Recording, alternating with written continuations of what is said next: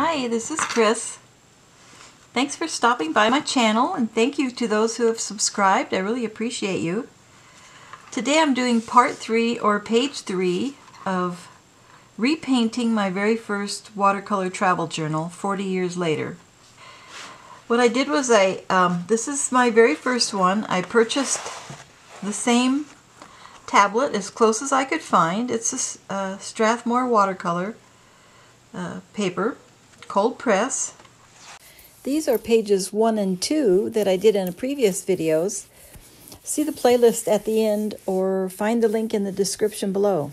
This week we'll do page three, which will be this page here at Mammoth Lakes Campground.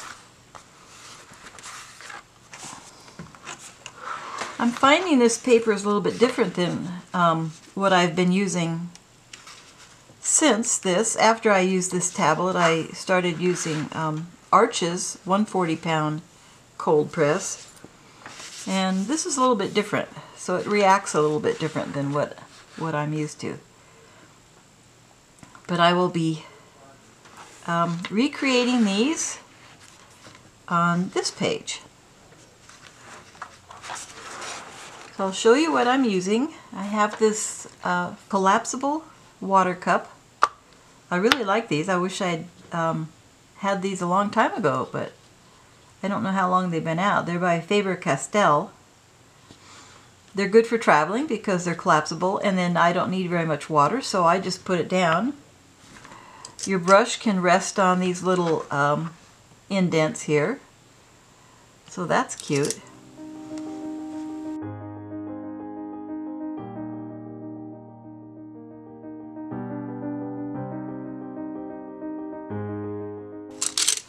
I have a selection of brushes. I have some natural fibers and mostly synthetic. I have some Winsor Newton and um, Robert Simmons. Those two are my favorite. So those are my brushes. And this is my palette. And I'll put a uh, graphic on the screen to show you which colors I use. These are all Winsor Newton colors. They're my basic colors, what I use when I travel and when I paint anything and I have a few other colors um, that are would be difficult to mix like turquoise and bright pink that I'll use occasionally. But mostly these are the colors that I use.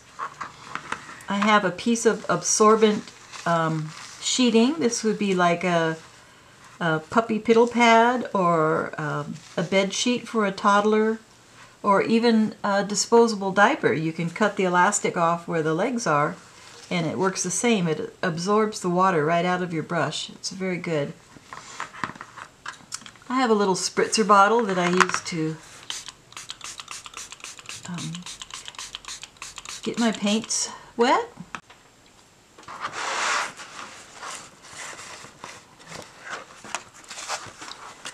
So I think I'll start with the upper right. And I'm just going to rough in the square where I'm going to paint.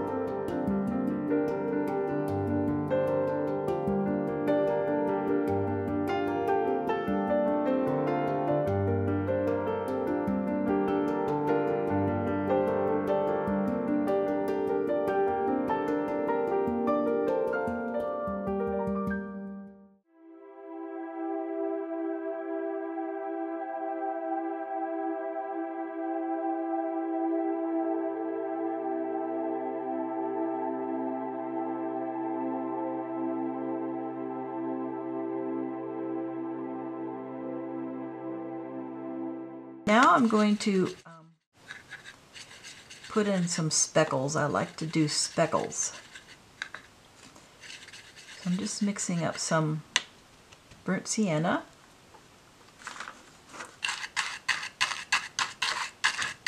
On a toothbrush.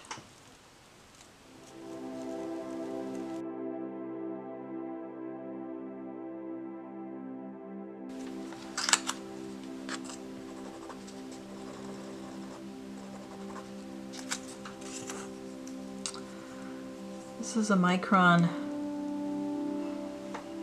05.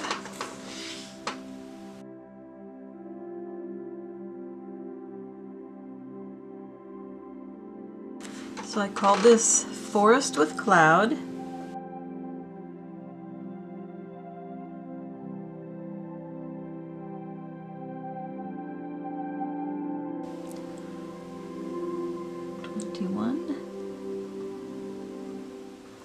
I'm going to continue with the others.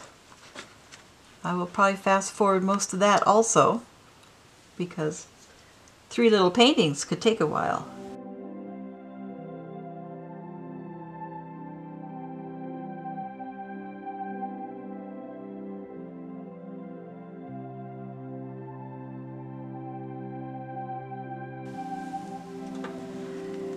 Sure you can't see this pencil drawing. It's really difficult to um, do a perspective drawing from a drawing where the perspective is kind of wonky already. This part, the perspective is not too bad, but the table tilts up a bit.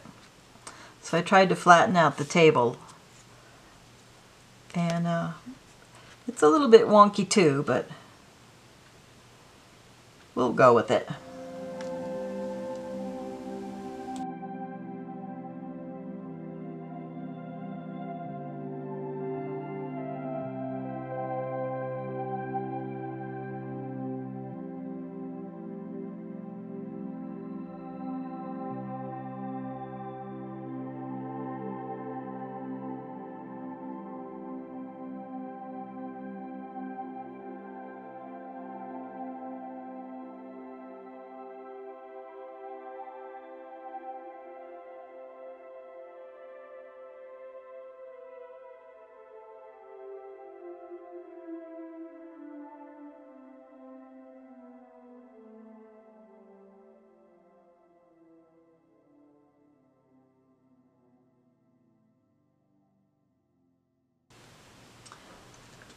I'm going to do some negative painting in these areas, which means that instead of painting a tree trunk, I'll paint what's around the tree trunk.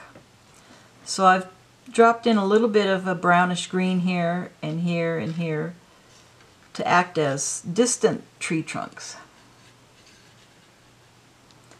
So what I can do now is I can just paint in the negative spaces.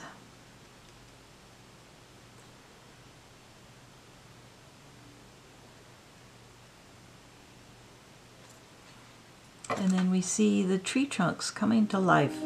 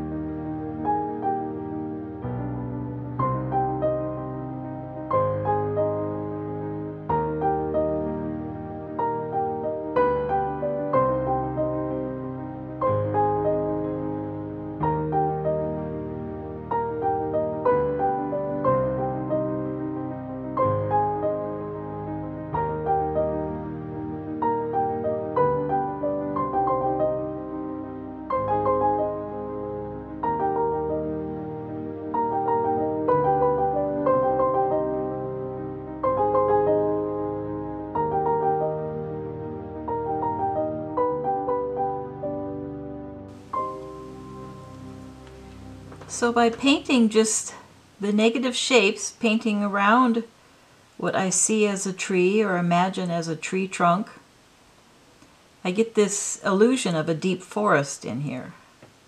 So I'm going to let that dry. And I'll paint the trunks um, lighter because they're on the edge of the forest and the sun will be shining in here.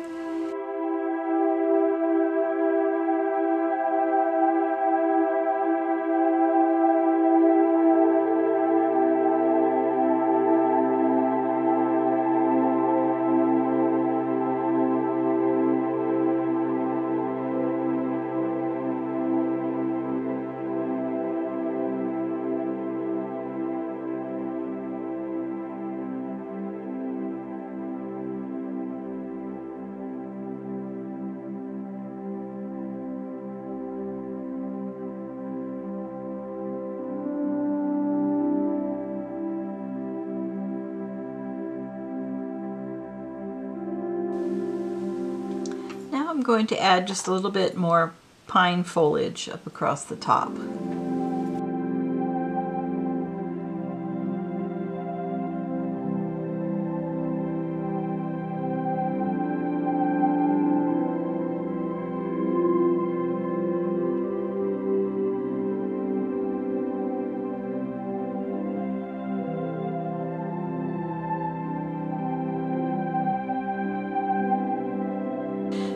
On the foreground and then I'll work on the bench and then I'll work on the details of the tablecloth with the rocks on it.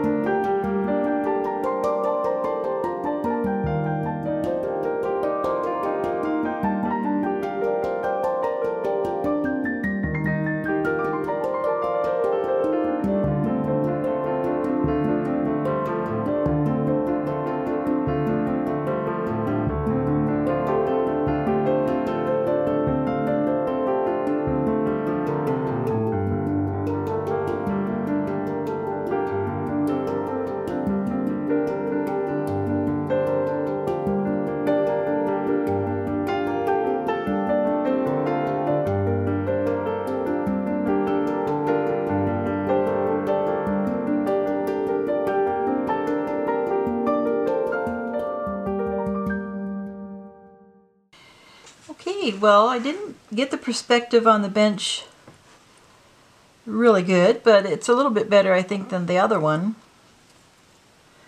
And uh, it'll show up better once I outline it. This one is outlined in brown. I think I'll just use my black micron. and outline it and finish it up. Then I'll do this one off camera and when I'm finished with this one, uh, I'll show you the whole page. So I'll be back. I finished the third painting on this page. And so here is the first one and here is the second one.